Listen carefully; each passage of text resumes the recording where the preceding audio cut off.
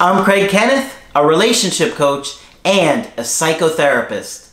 Every relationship is different and every breakup is different. Work with me and you'll get professional help on your situation.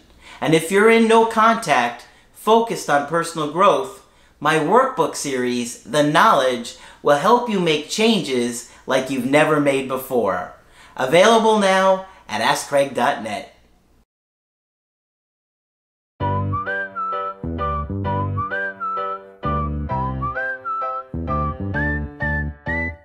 Hi there, I'm Coach Craig Kenneth, I'm Coach Margaret. And I'm Coach Victoria. and today we're going to be talking about don't be fooled by the glitz.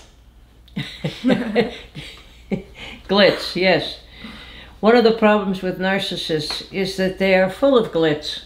And glitz is always nifty and attractive. What I want to do in this section is go into more specifics on some of the traits of the narcissist so that you won't miss them should you find yourself in a relationship with one. And believe me, it can happen to the best of us. Okay? Narcissists are quite attractive. All right, so I'm going to talk about some specific traits that you may see. Okay. All right. The first one is lack of empathy. And this is huge. Mm-hmm. Huge. Okay? The narcissist spends his life trying to manage his own needs, which are overwhelming. Okay? And he has very little interest or emotional response to the needs or sufferings of others. So, look, honey, I got my own problems here trying to keep my balloon inflated. All right? Yep. Now, I may learn to look like I'm listening to you, but take a good close look. Mm-hmm. You might listen to a long tale of woe from your narcissistic partner or friend. If, however, you want to tell your narcissistic partner about your own tale of woe, they famously begin yawning, stretching, and talking about how exhausted they are. Hmm. Okay, I've told you my story. I feel better now. I'm ready to go to sleep. Yeah. Oh, you have a story? Oh, well. And it's important too to note here that narcissists can learn empathy. They can learn to look like they have it. Yes, exactly. exactly. Like this Yeah. false this false empathy. They don't really feel it, but they know how to behave so Yep. that you believe they have empathy. Yep. And I've also heard that narcissists are the worst people to bring to couples therapy because they can learn how to manipulate you better. Or well, they, the first thing they will do is try to manipulate the ther- That the too. Therapist, of mm-hmm. course. Yeah, I'm not going to give them that much credit. If they have a half smart therapist, yeah. Mm. Yeah. But I've heard that, and that's being said fairly frequently. And they're seductive enough sometimes they can get a therapist to sort of side with them. Mm. And if that happens, you need a different couples therapist. Mm-hmm. Um, I personally would not see a cou- couples pair with uh, a narcissist unless I had seen each of them together a couple of times first. Okay? All right, so if you want to tell your narcissistic partner your sad story, tough luck. So these people have very little empathy, and I'm thinking about the story again of Rachel and John. John was a surgeon with no empathy. That scares me, right? Yep. Uh, empathy, Margaret, is is just absolutely crucial Yeah. for any kind of relationship. And just to review, empathy, it's different from sympathy. Sympathy means I heard your story and I feel kind of bad with you. Empathy suggests that I feel it with you. Okay? Like if I hear the story of the children who were just shot up, that I can sort of feel the parents' feelings if I have empathy. It's kind of frightening to find out that some people in some professions have little empathy, but unfortunately it's true. Mm. All right. And that's absolutely huge. It's impossible to love anyone unless you have a capacity for empathy. And because the narcissist doesn't fall in love with their caretaker normally, they don't develop it when most people do. Okay, if you develop normally, you fall in love with that nice person who soothes you and feeds you and talks to you and plays with you. But if that doesn't happen, other people can end up kind of irrelevant to you. All right? Yep. All right. Grandiosity is one of the famous traits of a narcissist. Um, and that can be glitzy. All right? Grandiosity is a is present when a person tends to exaggerate their accomplishments and talents and connections to important people. Oh, I've just met you. Let me tell you how wonderful I am. I actually personally know Craig Kenneth. right?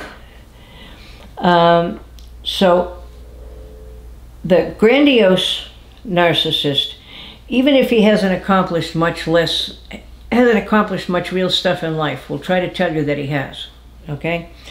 Um, It's all a show. it's all a show, exactly.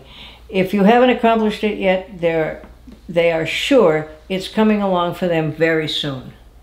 For example, I talked to a guy who knows a guy who is friends with this billionaire venture capitalist, and I know that he is going to want to invest in my business and my new idea right away. Now, you may not know the guy that knows the guy that knows the billionaire, and you certainly don't know that he's going to want to invest with you right away.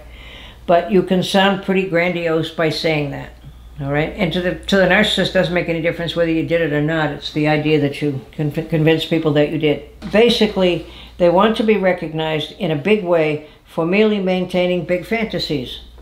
So convinced are they of their impending success that they already act as if it was a reality.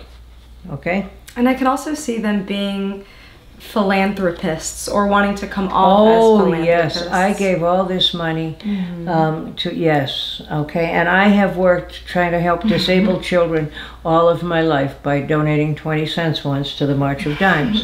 Yeah, entitlement. Now, for me, I think entitlement is the most obnoxious symptom that there is. And when I was trying to learn about it, I did what I sometimes do, which is I tried to act entitled for a couple of days um, to see what it felt like. And the people I worked with and usually had lunch with told me I couldn't come anymore until I was finished with that experiment. But I told them that I deserved to have them listen to me. Okay? Entitlement is the belief that one should be accorded special treatment, typically without reasonable cause.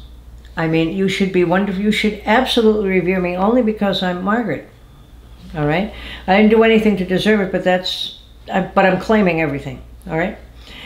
Entitlement involves the belief that everyone should comply with your demands, no matter how unreasonable they are. Entitled people do not want to wait in lines. They always expect upgrades of all kinds. Ever been on a flight with a narcissist or in a hotel with a narcissist while they demand all the upgrades? Okay?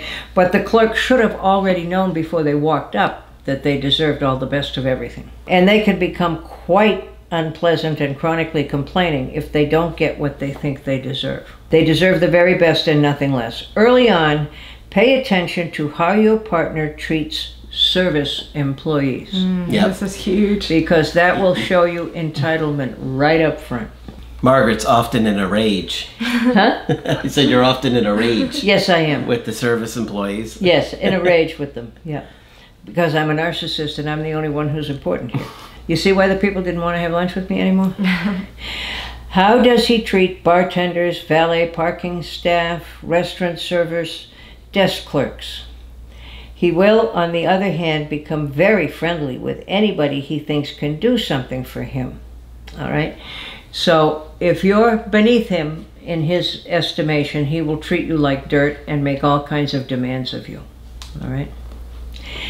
And people are famous, and I think there's another component to this, but people are famous for giving um, waitresses or waiters an extremely hard time. And I always think that part of that is a real throwback to the early problems because servers feed you like your parents did. Okay? And if your parents didn't do it right, you're going to take it right out on that server. That was too well done. That was underdone. I didn't like the sprig of whatever it was you gave me, you know, the green stuff. This is where I see it come out the most in, in current clients. I had a woman one time who could not help herself from beating up servers in a restaurant. She would complain to them about what was on the menu like they had anything to do with it, and overall give them an extremely hard time. The other people she liked to torture was the staff at a doctor's office Oh, no. because doctors are supposed to take care of you. Why weren't they jumping six feet every time she called? Hmm. Okay. She was working on it, however, and probably had su- some success. I thought she was somewhere between narcissist and borderline. But anyway, if it's a caretaker person and they're not doing a good job, tough noogies. And that can include you as a partner mm, over time. Sure. Oh, of course. Of course. You're supposed to take care of me. Why aren't you mm-hmm. doing it? All right. Like I say, the narcissist will be horrible to them, but very friendly with anybody he thinks he who can do something for him. Somebody was telling me, somebody who lives in a in an elderly community where people are relatively wealthy, was telling me the other day that a friend of his spends half his time on the phone calling car dealers and furniture sellers and all sorts of people to give him a discount and telling them that he really needs this discount. And I thought, I wouldn't have thought of that before. He's a narcissist who deserves special treatment at all times. Hmm. Okay? All right. So, if you find that somebody's entitled, run. Okay? And I don't I don't have to earn anything. I just deserve it all before I do anything. All right. Now let's go on to manipulation. Narcissists are manipulative because what else do they have to offer? Not much. What does it mean to be manipulative? Narcissists are masterful at twisting the situation and working the rules to get what they want. Even more frustrating, they will turn things around in such a way that you may ultimately give them what they want and exhaust yourself in the process. Now, that takes a lot of skill, right? Repeatedly, I observe stories in which the narcissist is superb at spinning his circumstances. For example, he says to his partner, After being abandoned by my father like I was, and how it affected my self esteem, you have to understand why working would be so difficult for me. Okay? In other words, I was so damaged by my father not accepting me and loving me that I really can't work um, for a man. Now, personally, I would say find a woman boss and shut up. but that would not be welcome. Um, so the woman he was with ended up working two jobs. All right? Um, So she was still trying to protect him and rescue him by keeping him happy. Unbelievable. I'm just too damaged to work. I've never even tried that one. I bet you haven't either. Gaslighting is another popular term. Ultimately, gaslighting is an attempt to distort your reality and make you question your own sanity. Example here are some favorite phrases of narcissists. You are overreacting and making a big thing out of nothing. You're crazy. Yeah, right. you don't That- trust me? that's it exactly. Oh, very good, colleagues. Um, you are overreacting, at making a big thing out of nothing. You're too sensitive. In other words, when I call you all sorts of awful names, you get upset. Mhm. You're too sensitive. You took that wrong. That's not what happened. You are remembering that all wrong. Mhm. Okay? Again, questioning her sanity and her grasp on reality. I never said that. Why can't you remember things correctly? All right? So you see how the how the narcissist will try the manipulation. All right. And they can also twist things around to make you look like the crazy person. Oh, absolutely. And I don't know if you remember the time we, we did the story of the movie Gaslight, um, where the man has very systematically led his wife to believe that she's crazy. Yeah. He would go in the attic to search down the family fortune he thought was hidden up there. And when she said the gas lights would dim when he turned them on up there, um, and he would say, "No, no, no, nothing, nothing like that happened." He almost had the woman thinking she was crazy. Yeah. Yeah. All right. And what's also so sad is that for the average person, a relationship is about love, it's about intimacy, connection. Yeah. For the narcissist, it's really about power and control. Yeah. I can imagine many of you are listening to listening to this thinking, how could somebody do this and why would somebody want to do this? It's all about power. Yes, and it's all about if they lose what they call their narcissistic supplies. Now, a narcissist sees an intimate partner as a narcissistic supply, meaning that this person helps keep their balloon inflated. Right? Mm-hmm. So if they're threatened by that, they get crazy. And mm-hmm. they're terrified of abandonment. Terrifying. Yeah. Yeah. So a lot of the control and manipulation is to keep you from abandoning them. Right. And that goes for the borderline as well as for the narcissist. Right. So, and a narcissist never ever takes responsibility. Narcissists are like Teflon. Nothing sticks.